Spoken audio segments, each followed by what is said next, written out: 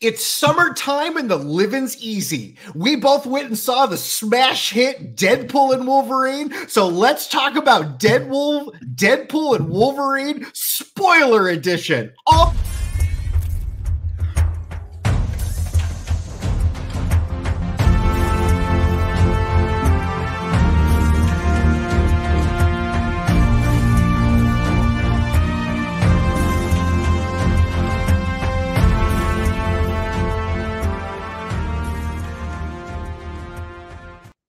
So I didn't know that if I dropped my phone on my keyboard, it would auto roll the uh, the credits mid sentence for you. I was gonna, I was saying I was gonna say uh, all the spoilers, all the additions, and then you started. I was like, oh, Taylor wants to get to it. Let's get to it. I yeah, I uh my bad. so I hit I hit the button. My Taylor. bad. Oh yes, please, please put Yeah, up the right yeah. off the bat, everyone, before you all get pissed at us for talking about everything that we want to talk about in this episode, spoiler alert. If you have not seen Deadpool and Wolverine, stop watching. You Yeah. another episode this week. Just Hundred percent. Don't listen to this. Go see the movie right now. go see it. And there we go. So, Deadpool and Wolverine. Tell me what you thought. Okay, I have. Okay, so the first thing I want to know is how much of this movie did you know going into it? Most of it. Okay. Uh, as I sat, so okay, as I sat in a packed movie house, I had to buy a random. My friend couldn't go with me. He's a new dad. His mother, who came to take care of the baby, got COVID. He's going through a lot. Mazel tov to you, Mike. Congratulations, but keep that baby COVID free. Uh, as I sat in the packed theater, the first thing I thought is people don't have superhero fatigue. People have bad movie superhero fatigue. Yeah. And if they are excited, they are ready to come out in droves. Yeah. Um, the next thing I want to say is this movie, much like Spider Man No Way Home, was able to crest on this wave of past nostalgia and really cash in its chips in a way that felt authentic and fun and great. It did. Yes. There were uh there were. Thirdly, I think everything we talked about at Comic Con is only relevant because of how excited people were to see Deadpool and Wolverine. And as they brought back these iconic char- uh, actor, as they brought back uh, Hugh Jackman to come play Wolverine, which he said he wasn't going to do anymore. I think all of the conversation about what's going on with Marvel with Robert Downey Jr. only matters because of how great Deadpool and Wolverine was. Yeah. Taylor, it was funny. It talked about how shitty the MCU is now. Uh, the line where he said, uh, "Welcome to the," uh, he's like, "Welcome to the MCU. You're joining at a high point." That was my favorite gag when he said that to Wolverine. Right? I was like, "Yes, he's self-aware." Uh, I firmly believe that Ryan Reynolds should be in charge of the humor going forward for the MCU because um, whoever's been in charge of it in the past, they don't know what they're doing. It's not funny. Who?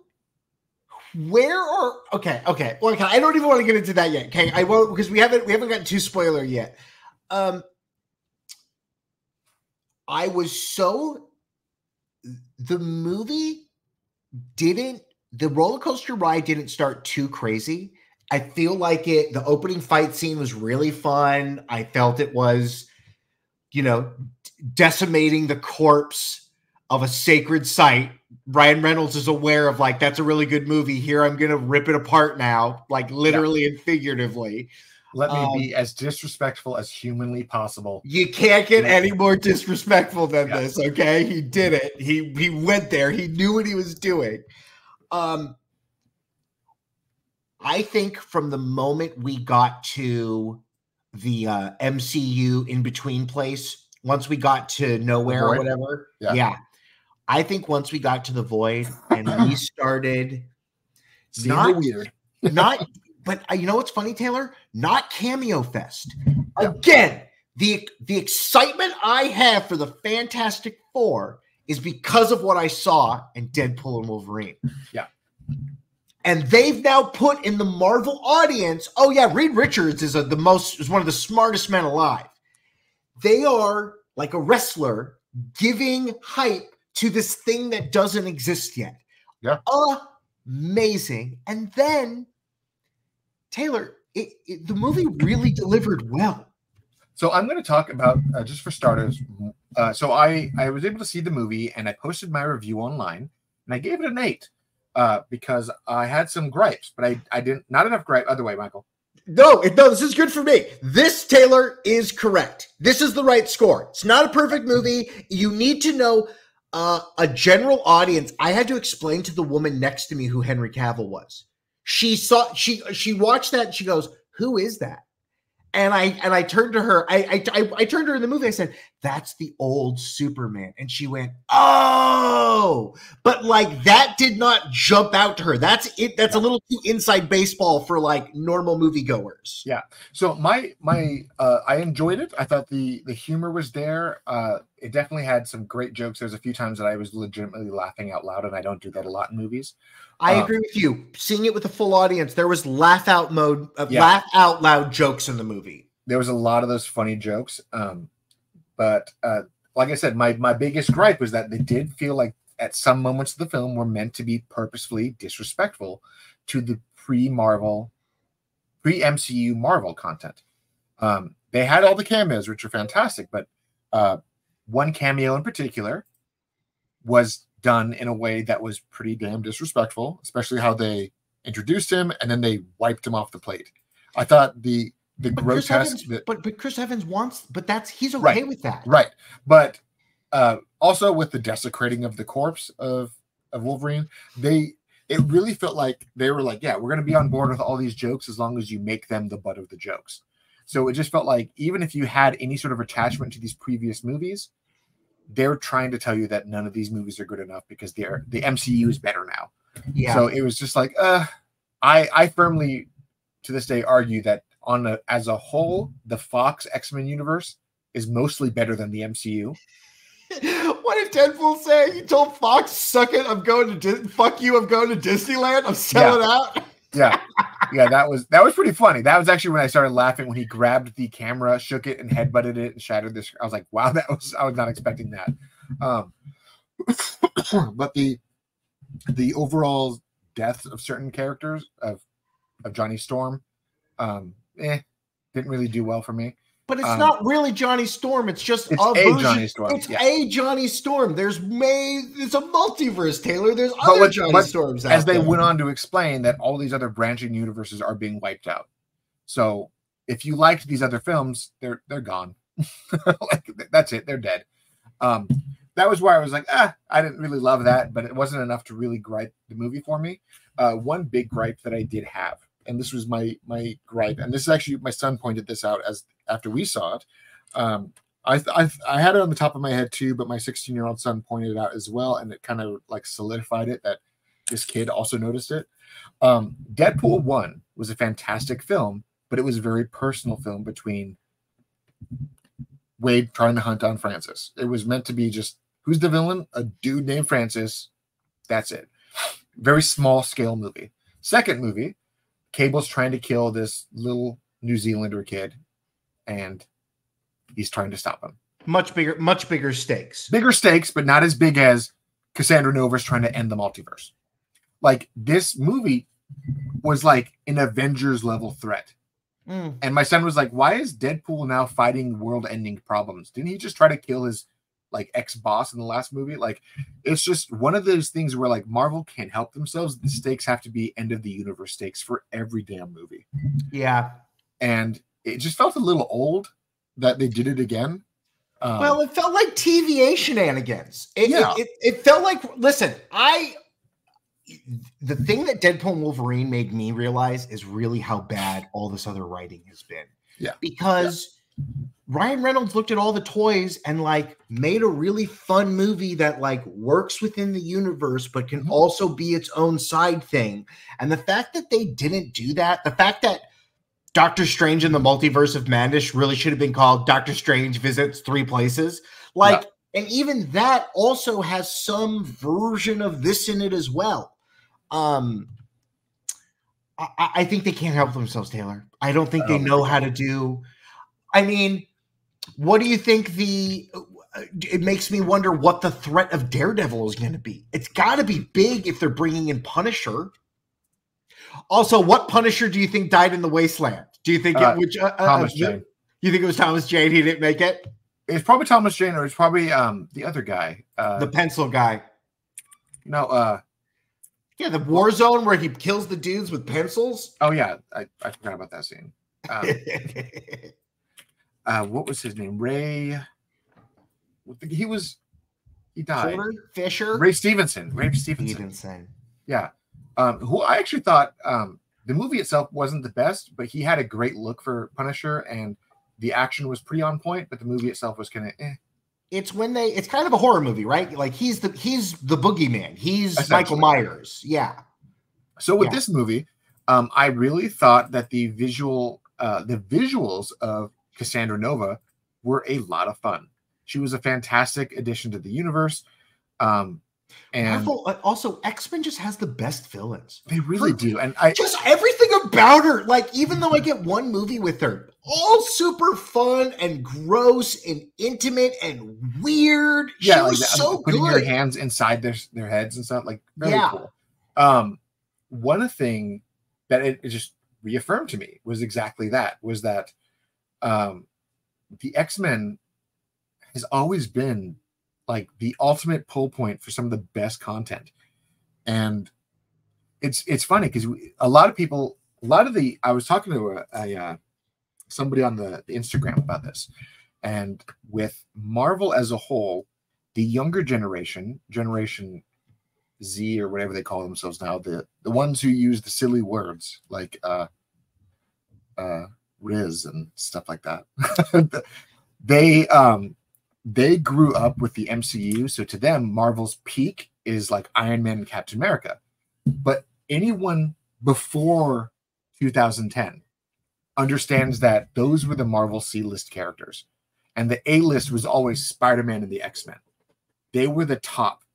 And kudos to Marvel for making your weakest comic book characters into billion dollar franchises. But now we're getting into the characters that are truly fascinating and weird and just so much more fun. So I'm thinking about, I'm really thinking about what you're saying right now, and I'm thinking about the movie that we got. And it's surprising that they didn't try to get Ben Affleck as Pretty sure they did. Pretty sure they did. I, I think he missed. I think he. I think they fucked up by not pushing that hard enough because I think the rub they gave to Fantastic Four was really good. Um, and I'm thinking about the scene where Wesley Snipes is like, "I'm the only Blade," and it's like, yeah, he. It's he- only one of me. There's Yeah. only one of me, and there's something to be said about that. Um, I, I I liked how the self awareness of Ryan Reynolds looking at the camera and being like, for now. Oh, uh, that and I also love that line when right where Wesley Snipes like I thought I'd never come back, and him as Ryan Reynolds was like, "You were very mean to me." Like that's such a like it's like oh Yeah. yeah, that that movie exists. And then that other line where um Electra was like, they were like, oh, and we've uh what happened? Uh, what did she say about Daredevil? It's like, oh, he's fine. He's, he's dead. Uh, he, Not a big deal. they go. Uh, he goes. Well, Daredevil used to be here, but he died. And, and Deadpool goes, "Oh my god, is that? Are, are you okay?" Electra's like, "Oh yeah, I'm totally fine with that." Which is like, yeah, nice little jab at her ex husband. Taylor, when I think about this movie in in certain sort of ways, it does feel like they just wanted to get X23 and Logan and just get access to them. Anytime she did so little and was so great. Yeah, she she was a very like you could argue that she's a very small character, but as a small character, she carried so much emotional weight to make Logan better. And that's what was so great about her. And I also loved when they went off in their ex their fighting team, she had her glasses and her whole outfit from Logan. Like that was just awesome. Now I said all that stuff about the team stuff. That gambit, unless you that is to pay off you, Taylor. That is to pay off a person that is reading about these projects and they don't go anywhere. That's such an that's such deep knowledge of all of that. Do you think I- that spot should have gone to someone more recognizable? No, because it was so perfect. Um, everyone knows, everyone who knows the X Men knows that Gambit is like you could probably argue that in terms of X Men, Wolverine, Deadpool, and Gambit are like the top favorite among all the fans. And everyone who has any sort of understanding about the Fox Marvel merger knows that the first thing that Marvel had unceremoniously murdered was the Gambit film Mm. and including him was just so damn funny. And I loved his ultra thick Cajun accent because they had so many good jokes off of how thick his accent was. Um, but the funny thing about it is, this was actually supposed to be the costume he was getting for that film. Wow. And That was going to be the most comic accurate X Men universe costume that they've ever done, and it was so funny. And well, it makes me it makes me know that they must have done a thousand drawings of that Wolverine costume because it's so good. And you know what's funny is I never once Taylor Taylor I never once was like, oh, he's gonna put the mask on. At this point in my movie Right. career, Right. I didn't want. I was like, that's never going to happen. And when it happened, oh boy, was it Yeah. Spectacular. when the the the Deadpool Corps shows up. And funny enough, uh Cowboy Pool, that's Matthew McConaughey. yeah, That is that is the secret cameo of this movie because every Deadpool movie has a secret cameo. Uh Deadpool 2 had Matt Damon and and uh oh my god, I just forgot his name. uh, Brad Pitt. There you go. Matt Damon and Brad Pitt were the second one. Matthew McConaughey is Cowboy Pool right there.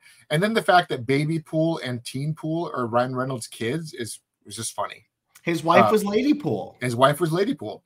But the moment that they walked out to the Madonna song and you see him reach behind his head and pull on the mask, the audience collectively lost their shit so hard. Now, I also want to tell you, He was just like this, like yeah, yeah, he, he puts it on- as soon as he pulled it on, the internet, the the internet, and everyone just, oh my god, this is it. Uh, one, if that's not a hoodie yet, Disney needs to get on that. Yeah, yeah. Um, two, I'm gonna let you know, Taylor. Straight up though, it does look goofy. It- I it it's it's crazy that like for all these years, everyone was like, you can't do it, and I get it, but I'm gonna let you know it does look a little silly. Now, the moment he started me- killing Deadpool's, it didn't matter. The- to me, the, what looked silly about it wasn't the the the, the thing; it was the eyes. Um, They, they, they did the Deadpool eyes. it wasn't not the Deadpool eyes that bothered me. It was the fact that they his mask should have had more of a Batman element where he was kind of scowling more. Um, his eyes just looked too damn open. Yeah, why can't we have why can't we have his real eyes? No, because the, the white lenses are what we wanted. That's what we That's wanted. what you, you wanted. I wanted that is what I wanted. That is what I everyone wanted, wanted. a little bit tighter. I wanted a little bit less But that scene, yeah, Yeah, and you know what's funny was they deliberately gave us classic Wolverine Logan poses. When he lunges at a uh, Deadpool in the through the Honda on the Odyssey, or when I- he's running at him in the void and he's like going like Wolverine, like berserker running, and I'm like, oh my god, it's happening. Um, uh, I I I finally felt like they were utilizing it. The only thing we didn't see him do was climb a wall. You know what I mean? Yeah. Like I know how to get up there. Pink, pink, pink, pink. Like that's the only feel thing I feel Yeah. like we didn't see. but uh such is life uh like i said uh the other I, and I forgot about this before. This is my other little gripe. Uh, when I meant uh, disrespecting previous characters, the Sabretooth fight was so. It felt like it was so wasted. He just ran up and popped his head off. It was, was like- wasted, and it- it's wasted because of the caliber of those performers. We Yeah. followed the Toad guy for five different movies. Why wasn't he given? Let him shine on screen. He's a really talented Yeah. martial artist, and like Corey, the fact that something. they actually got Ray Park to come back as Toad, just for him to like, for people not even to realize it's him. That was kind of a bummer. And Kelly Hu comes back as Lady Deathstrike, and nobody realized it was actually her. No, and they couldn't get what's your name a Psylocke. I feel like that's why people stopped paying attention because they Yeah. didn't get. Like because you didn't have Psylocke and you didn't have Vinnie Jones as Juggernaut, nobody paid attention to the actual actors they got to come back. So it's like I was like, all right, guys, I see what you did there. But um, I, love- did I did really enjoy the uh the Furiosa joke when he had Sabretooth's head. I was like, oh my god, okay. That was so well planned by Ryan Reynolds. I mean the the quips, the the real, the the. So many of these movies, it feels like the jokes we're getting is like the third take that they really thought was funny in the room. I can Yeah. really feel how sharp these adamantium uh, swords are because boy, does this movie hit good. Like it just beat for beat. It's it's it's a fun. They don't really slow down that much. I love that the I can't like we've been wanting to watch Deadpool and Wolverine fight forever, and they fight in the Honda. Like I I I love that the way they play with those expectations. I wonder what other X Men now get to come back. So, from my understanding, and this was something that I heard from a few people now behind the scenes. Anna Is that- Paquin. No, no, no. What I'm saying is the fact that all of these people survived means they're Oh. going to be utilized again. Okay. Um, I did like how at the end the you officially got Logan and Laura sitting together and like they're now part of the Prime Deadpool universe. Um, I thought that was pretty cool. Um, but we also are probably going to see Channing Tatum back because the internet loved it, and I'm pretty sure Marvel's listening and like, hey, Channing, come back, do it one more time. I don't want Gambit to be funny the way that they've done Thor, and they really were on that line. They were on that line, but it wasn't like it wasn't like Thor funny because Thor is like the two last two Thor movies. They were trying to make Thor into like a weird Tony Stark parody. Okay, Um, cut to cut to 20 cut to 20 21 minutes ago taylor when i said i don't want to talk about it i want to talk about it what is this thor movie they're setting up because Oh my God, i no, so feel like that that joke was supposed to be something from Secret Wars where Deadpool sacrifices himself and Thor is like no, but then he heals. so okay you don't think it's that they're going to do a deadpool and thor movie because i feel like deadpool would be silly enough that thor would then get to be serious again and we could see him make that transition with the joker character of deadpool I I don't want that movie. Um, I thought the that scene was pretty great, but I feel like if they just show that scene at the beginning of Secret Wars, and then just like show that like that's how you cold open the movie, and then just have Ryan Reynolds be like, so that's how that happened. But let's go back to the beginning, and then just start the movie over. Just just pay that scene off right there. But um, again, you need to have Ryan Reynolds be allowed to be himself and give him the censor button so he can just beat bleep himself out, make him self-aware, and just be like right at the beginning, be like, I was told that I can't use the f bombs or these words, so I'm just gonna censor myself. Have him talk to the audience while he does yeah it, um, and then just do the movie. Uh, I I do feel that they need to not.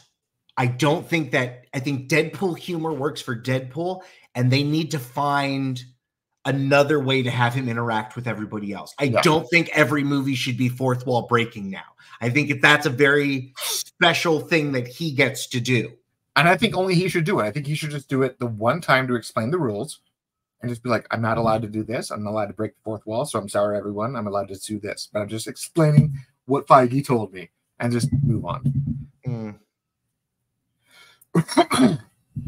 but yeah, I really enjoyed it. I thought the movie was fantastic. I know a lot of people, I, I've heard very mixed reviews. Either you loved it or you hated it. I why are people hating this? It was super fun. It was a fun movie. Now, it does plug into all of the Disney Plus television shows they said you don't have to pay attention to. Nope, this whole movie was based on those. And So much so that uh Ryan Reynolds tells the audience what episode of Loki to watch. Yeah. Oh, the TVA, like in Loki season one. Like, just- Season 1, episode 5. yeah um he that was pretty good uh that's what i like the fourth wall breaking is when he explained the backstory of what you need to know um that was pretty good for me but um I, a lot of people that I know that didn't like the movie all kind of complained about the same thing. Said it was disrespectful to Logan. It was. Um, Fox was disrespectful to Logan. They had no, they actually were pretty. They they they messed up on Logan one time. They were- did great every other time. they they squandered that character. Okay, when they say he was the worst Logan, that's because he's our universe's Logan. It's our timeline. Okay, uh, the I didn't think about Johnny Storm being disrespected like that. It's crazy that we're talking about disrespect, but I guess like Elektra and Blade were not ripped apart and manhandled. Whom would you have accepted in that role? Who else? What other person would you have wanted to be unceremoniously ripped apart like that? You know, I in hindsight, like the the people that we got, I was fine that they were they were there and they they survived. I would have probably preferred another character that probably wasn't as favored, like maybe the weird Fantastic Four movie that was that one-off terrible one. Maybe have one of those characters get into like the ones that actually were not popular. Yeah, use those characters as your cannon fodder. Make the joke about how they were they were the mistakes of the MCU um, or the Marvel universe, but like a, a movie that was actually successful and actually has a fan base who were upset that we never got a third movie, maybe don't murder them because that they're those people actually there are people out there that actually care about those incarnations. So That is the trilogy that never happened, was it? The Fantastic Four. We got the two, and two is definitely way bigger than one. But it was also sillier. That was the problem a lot of people had with it was that it, it went from a PG-13 movie to literally Fantastic Four Rise of the Silver Surfer is PG. Yeah. It's a it has no swearing in it, very little anything in it, and Johnny Storm becomes a Super Skrull. And Uh, was- if they would have ripped apart uh, Michael B. Jordan, do you think you would have been okay with that if he got his skin ripped off? I think if they would have brought that version of the thing back or something like something like "Where's your pants?" and then him just get dissolved in the sand, you know, like I don't know. They, I don't. Michael B. Jordan think- probably would have said yes to it. I think the moment they turned uh, uh, uh, Mr. Reeds into Spaghetti Man, I feel like once he ripped that person apart, everyone's fine with being killed in an MCU movie now. It's Yeah. like a fun, it's like a badge of honor. Probably. I mean, like I said, it was not so much like the Johnny Storm stuff was a little gruesome, but it wasn't like, oh, that sucked. It was, I thought it was just more so like how they were acting toward every other character in general. Like it's just, I don't know. I liked the pre MCU Marvel stuff, and they were just so unceremoniously to all of it. It was, they were clearly making them the butt of the jokes. Heard. Um, I like the movie. Mhm. I think that the only reason why people are going to talk about what happened at Comic Con is because this movie is going to make them excited for that stuff. And I And think, I think j- to your point, they could have maybe done Fantastic Four a little bit better because we're building them up right now. Yeah. I mean, this scene is probably how they now are justifying Tony Stark being Victor Von Doom. Yep, Because hundred he made, percent. the, he made the joke like, "Oh, Captain America," and it's like, "No, flame on," and he's like, oh, "Okay." but yeah, I loved it. I want more of it. I want them to not overuse Deadpool. I don't know what that looks like. I think it's I hope I That- hope they can build all of these. I hope they can work all of these pieces together. but is that not my? Isn't that not a legitimate concern? Because the moment that Marvel had Guardians of the Galaxy come out, they tried to copy that humor in every single movie since then. This Yeah. movie is already breaking records. It is the number one rated R movie in the world of like all time, really. And I might go see it again. I would I- like to see I would like to see it again, but like I don't know if I want to like go out of my way to see it, but I might go see it again. I actually have tickets to see it again tomorrow because my wife didn't go to go see it with us the first time. Hot So- dog, she's gonna love it. She didn't like the first two, but she loves Wolverine. She loves Hugh Jackman as Logan. So this is, I think But that was my Taylor, sell point. doesn't this have a little bit of that MCU on it? Do you It know what I mean? It has a bit of it. I think the most MCU ness of the whole thing was the NSYNC intro. Sure. That just screamed MCU to me. That kind of like we didn't need this, but here it is. Okay. but I did enjoy uh, Wade Wilson humming the Marvel cinematic uh, theme song to the Marvel crawl. That was a nice little Easter egg. But um, I like when he pretended to be Spider-Man. yeah, just the nice little fourth wall breaks. Uh, when do we get Hugh Jackman Wolverine again? Well, we know he's coming back for Secret Wars, so It didn't say at the end of the movie Wolverine will return in the Secret Wars, though. no, didn't say that for any of it. But apparently, uh, behind the scenes wise, one of the big sell points to get Hugh Jackman to agree to come back was that he wanted to do a scene with Tobey Maguire and Robert Downey Jr. And that was something that they explicitly agreed to, allegedly. Wow. Uh you can't kill Wolverine, so he's not going anywhere until you vaporize him and replace him with somebody else. Yeah. So we'll see what happens. But We'll see what Um, happens. I enjoyed the film. I thought it was a lot of fun, and I can't wait to see where they go with it next. Like I said, my big concern is that they're going to uh, abuse the Deadpool humor going forward. But Let's see what happens. see what happens. On that note, thank you so much for joining us, everyone. Uh, I have been your host, Taylor Murphy, and my co-host, as always, Michael Santel. If you like what we do, head over to the patreon.com slash the cultured nerd. Help us keep the lights on, help us keep afloat. Uh, if you're sitting at home watching this on your screen, like, comment, subscribe. Tell me what you liked or didn't like about Deadpool and Wolverine. Uh, scan that QR code, head over to our socials. Let us know what you think. Like, comment, subscribe, follow us on the socials, and we will see you all next time.